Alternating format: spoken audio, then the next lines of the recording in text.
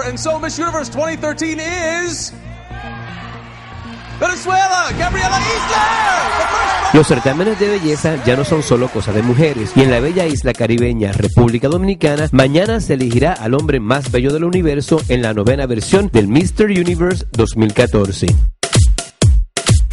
20 chicos de diferentes países con un físico maravilloso y caras espectaculares han pasado dos semanas entre playa, arena y sol, volviendo locas a todas las mujeres que se cruzan a su paso.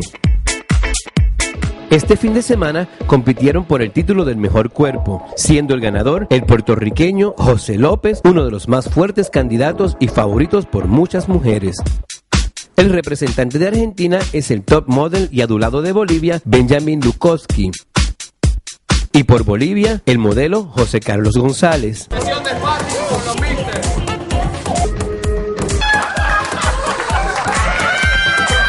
Así es amigos, a ponernos en forma, pues la belleza masculina ya no es un tabú. Suerte muchachos.